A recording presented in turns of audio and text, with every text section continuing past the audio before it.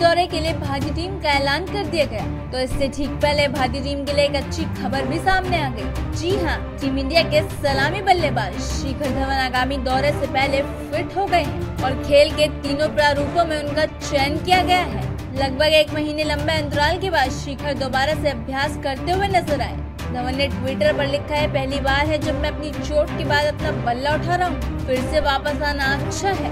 बाएँ हाथ के इस बल्लेबाज ने ट्विटर पर वीडियो भी पोस्ट किया। फिर बॉटल कैप चैलेंज करते हुए नज़र आए। इससे पहले बाएँ हाथ के बल्लेबाज शिखर धवन विश्व कप में ऑस्ट्रेलिया के खिलाफ चोटिल हुए थे।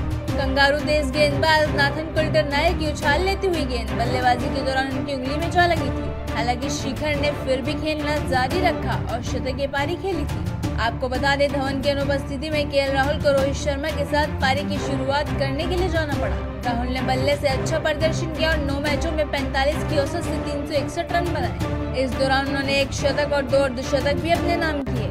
गौरतलब है कि वेस्ट इंडीज में भारत को तीन तीन मैचों की टी और एक दिवसीय सीरीज़ खेलनी है। सीरीज़ की शुरुआत तीन अगस्त को पहली टी मैच ऐसी होगी। भारत अंत में दो टेस्ट मैचों की सीरीज़ भी खेलेगा। तो ऐसे में देखना होगा वेस्ट इंडीज में होने वाले इन मुकाबलों में क्या कुछ होगा और टीम इंडिया किस तरह का प्रदर्शन करती हुई नज़र आएगी। आपको क्या लगता है आप भी अपनी राय दीजिएगा, साथ ही आपके अपने चैनल हेडलाइंस स्पोर्ट्स को भी सब्सक्राइब कीजिएगा।